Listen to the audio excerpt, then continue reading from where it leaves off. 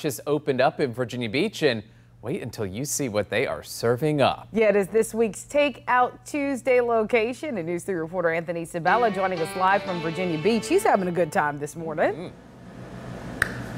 You know, I always have a good time on Takeout Tuesday, and every week I think, oh, it just can't possibly get better. And then, you know, they pull out something like this, and all of a sudden my life is complete. But that's what they do here at the Yard Milkshake Bar. Look at this milkshake. This is the most beautiful milkshake I've ever seen live and in person.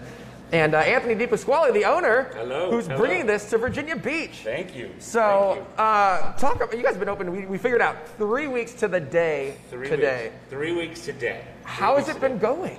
Um, it's been fantastic. I couldn't be happier with the response from the community.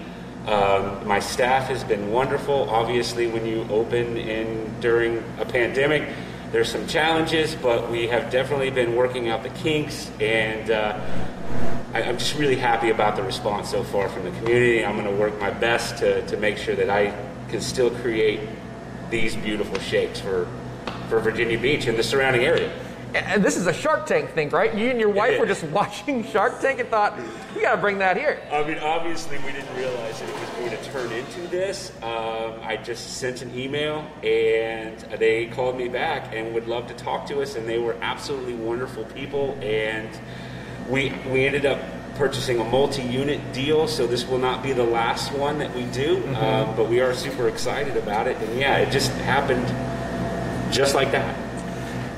Okay, great. Um, and I know we wanted to talk a little about opening, you know, a business during COVID nineteen, but I know we're out of time. So okay. I do want to try the shake. I mean, that's why we're here. Oh yes, to let people do. know about this, please right? Do. So let's let's give this a try. So good, so good tastes as good as it looks. And so this is called the Seaside Sensations. It's one of the yes. big ones here in Virginia Beach, one of the favorites, right? Yes, yes. Cookie Monster ice cream. Got obviously some. They got some marshmallow cream in there. This uh, sunset whipped topping. Yes. Seahorse, cotton candy.